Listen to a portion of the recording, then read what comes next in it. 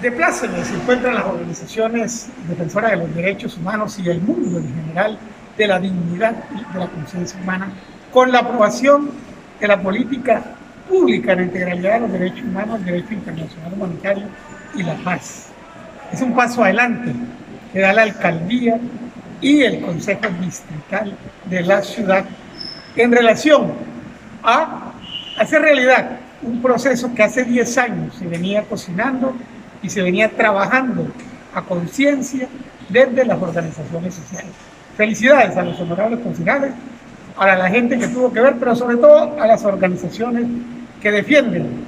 y propenden por la integridad de los derechos humanos en la ciudad y la región.